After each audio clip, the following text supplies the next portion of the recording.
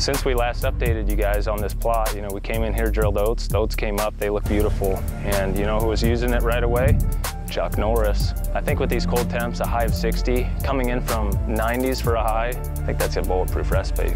And one of the deer that I think is in trouble for this weekend is Chuck Norris.